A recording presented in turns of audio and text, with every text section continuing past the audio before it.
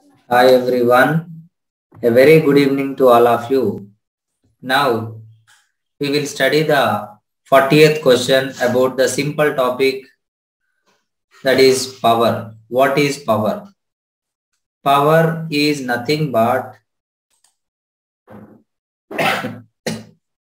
see in a simple way we can define that rate of work or rate of doing work that is called power. Now power is nothing but work by time. Work is nothing but energy by time.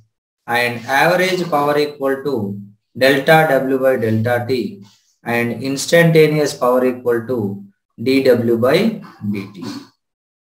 So that here when they ask what is the power by a constant force. So the power equal to dW by dt or else d by dt of f bar dot s bar equal to f bar dot d by dt of s bar that is f bar dot v bar. So power by a constant force is dot product of force and velocity. So they will give force in vector form and velocity also in vector form.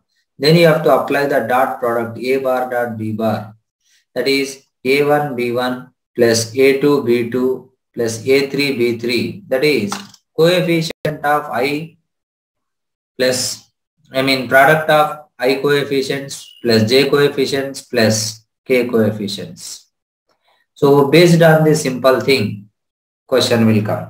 But here, if you know how to find work done, then only you can solve the questions related to power. When you can find work done or uh, energy, then only you can find power because power is nothing but work by time and work is nothing but energy. Like for example, if you take a body to a certain height, then see, just like for example, I am telling here, work done in moving m to a height h. Then work done is mgh then power will become mgh by t. So this is the way you need to understand the questions. So let's solve few examples based on these simple things. Now the very first question is, a train has a constant speed. So they are given speed 40 meter per second and a level road against a resistive force. So resistive force is 3 into 10 power 4 Newton. Find the power of the engine. So due to resistive force, velocity keep on decreases. But to maintain the same velocity, we need to apply some external force so that power due to that is Fv cos theta. But here theta will become 0 degree. So power will become F into V. So F is given, V is given like that.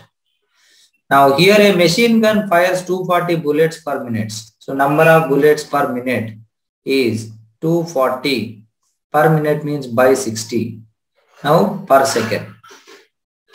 So that 4 bullets per second. If each mass of the bullet, so mass of each bullet is 10 gram, nothing but 10 into 10 power minus 3 kg.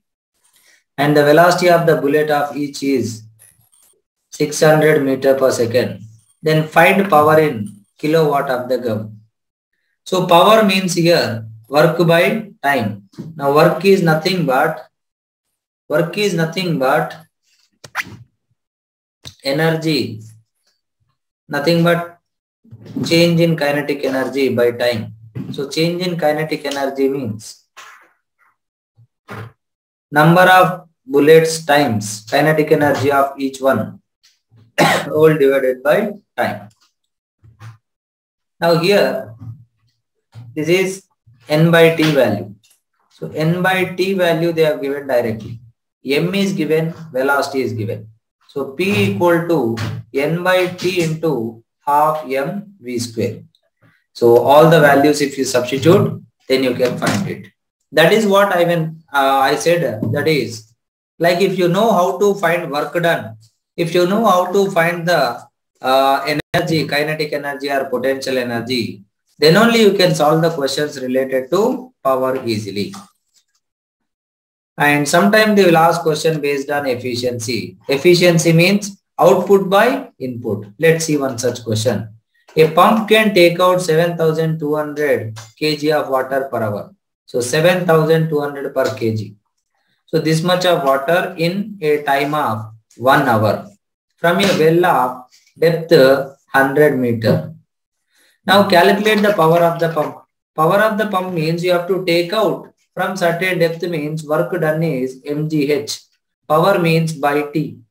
Assuming that its efficiency is 50%. So efficiency is 50% means here this is the output power it is performing. Now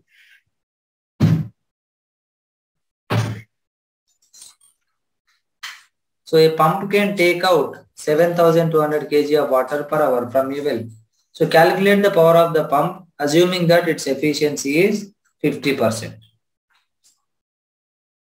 Now, how to find this one is efficiency equal to output power by input power. Now, this is the output. It has to take out this much of this. Now, as it is 50% efficiency, this will become 50 by 100. Then if you equate it, you will get the power. Where power formula I gave it as, as it is taking the mass or water to certain height, then the power is mgh by t. So if you substitute all the mgh t values, then you will get it. And convert one hour into seconds.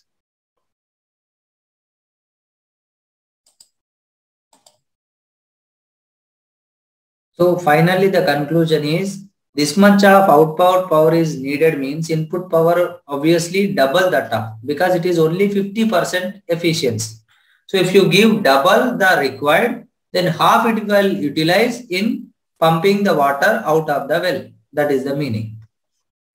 Now here is another question. A 60 kg man runs up a staircase in 12 seconds. While a 50 kg man runs up the same staircase in 11 seconds. The ratio of the rate of doing their work. Nothing but power power equal to work by time. Now work equal to mgh by time.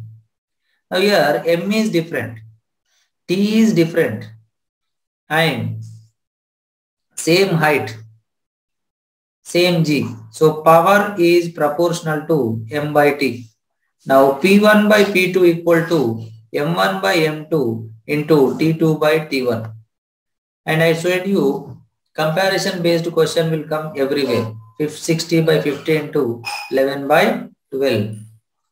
So 6 to the, so 11 by 10 is the answer. Now let's see one last and final question. Here force is given in vector form. That is 2i cap plus 3j cap plus 4k cap. And also displacement they have given 3i cap plus 4j cap plus 5k cap. Then work done will become F bar dot S bar that is 2 3s are 6, 3 4s are 12, 4 5s are 20. So 38 joules. Then power equal to work by time that is 38 by 4 seconds. So 9.5 joule per second are wired. So this is what the simple kind of question they can ask based on the power. So what is power, what is power by a constant force and how the power can be expressed in terms of velocity and how work and energy used in calculation of power. This is all about the power. So similar questions I have given as assignment. So please try to solve the questions. We'll continue in the next class with the next question. Thank you all of you.